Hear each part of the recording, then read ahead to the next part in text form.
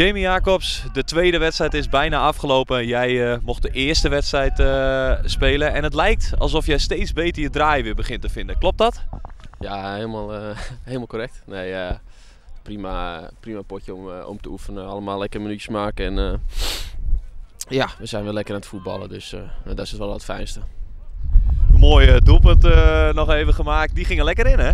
Ja, en ik zag er wat spinnenwebben hangen daar in het kratje. Dus ik denk, dan moet ik die even uitschieten. Dus ja, wel lekker.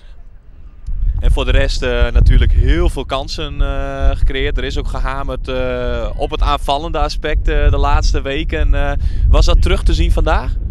Jawel, ik denk dat we wat anders speelden dan, eh, dan normaal. Iets eh, directer.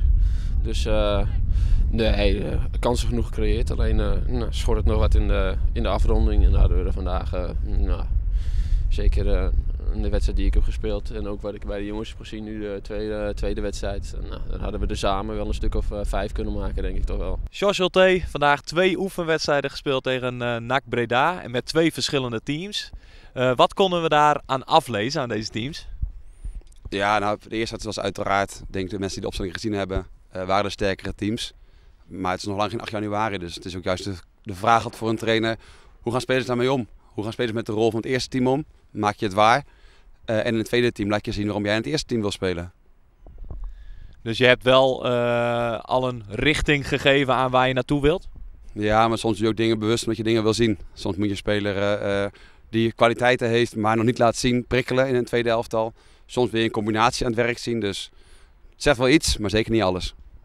En ben je tevreden wat je gezien hebt over twee wedstrijden? Ja, heel wisselend. Kijk, resultaat wedstrijd 1 niet goed. Je speelt tegen NAC, eh club uit de KKD, die goed voetbalt. Maar daar moet je gewoon van winnen. Daar hebben we denk ik alles aan gedaan de eerste helft. Qua kansen creëren. Maar je maakt ze niet, schiet wel in je eigen doel. Ja, de helft niet mee als je wil winnen. Eh, wel goed teruggeknokt, een paar goede kansen gehad. Maar uiteindelijk is 2-2 vind ik veel te mager. Voor ons tegen een club uit de eerste divisie. Wedstrijd 2 win je wel. Uh, coach NAC voor heel erg ingezakt verdedigen. Dat is best wel lastig om tegen te spelen. Eh, moeilijk om kansen te creëren. Uiteindelijk niet heel veel weggegeven.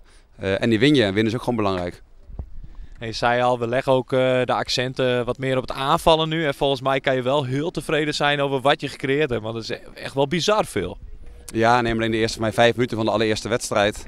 Waarin we, nou, zonder te overdrijven, zeker al drie goede kansen kregen. Ik kreeg mijn klok op 1,40. Toen hadden we twee kansen gehad. Eh, dus ja, dat is een goed begin. Maar ja, ik wil geen seizoen hebben waarin we elke keer gaan zeggen... We hebben veel gecreëerd, maar geen kansen gemaakt. Je moet ze gewoon scoren. En zeker de grote kansen, dat moeten gewoon doelpunten worden. Keeper van Nacht deed het goed. Raken één keer de paal, raken een keer de lat. Dus uiteraard is daar een beetje pech bij, kan je zeggen. Eh, maar ja, dat mag geen excuus zijn. Je moet gewoon meer scoren. Ja, ik zo zeggen, als wij eh, eh, voor hadden gestaan in de rust en de wedstrijd uh, winnend hadden afgesloten, dan had dat, had dat nog lekkerder geweest. Ja, een wedstrijd 1 speelt uiteindelijk 2-2. Het wordt een hele moeilijke wedstrijd omdat je die kansen niet maakt. Je krijgt de kansen wel, je bent goed dominant. Dan een foutje achterin leidt tot een, tot een achterstand. Ja, dan wordt het opeens heel moeilijk voetballen, want dan gaat NAC inzakken, ruimtes klein maken. Eh, en het is veel moeilijker kansen creëren, dus ja, je maakt jezelf daarmee heel lastig. Daarom ben ik wel blij dat we tot 2-2 teruggekomen zijn. Maar eigenlijk had ik alleen voor 3-2 eh, eh, echt tevreden kunnen zijn. Al met al denk ik wel dat het heel veel vertrouwen geeft voor wat er nu gaat komen, denk ik. Ja, en je maakt ook heel belangrijk, natuurlijk allemaal anderhalf uur vandaag. En daar hebben we een lange dag op pad, met z'n allen naar Barneveld toe. De hele dag hier met z'n allen aan het werk geweest. En met als doel anderhalf uur spelen per persoon. Dat is wel een hele grote belangrijke stap. Die maken we volgende week weer. Dan hebben ze allemaal twee keer anderhalf uur gespeeld en dat is ook heel waardevol. Wil ik toch één eh, persoonlijk punt er nog even eh, uitlichten. Ulrike scoort weer. Dat is fijn, denk ik, hè? Ja, hele fijne goal. Ik heb niet de telling bijgehouden zoals jij het blijkbaar wel gedaan hebt. Want ik ben net zo blij met de andere goals geweest. Eh, en om iets toe te voegen, ik dacht je dat zou gaan zeggen. Maar ik vond dat de jeugdspelers het heel goed deden. Stuk voor stuk uh, hele goede bijdrage geleverd van de jongens die in helft speelden. Maar ook de jongens in mochten vallen, hebben het uitstekend gedaan. Dus ook mooi voor de club dat de jongens niet alleen kampioen geworden zijn, maar ook bij ons het goed doen.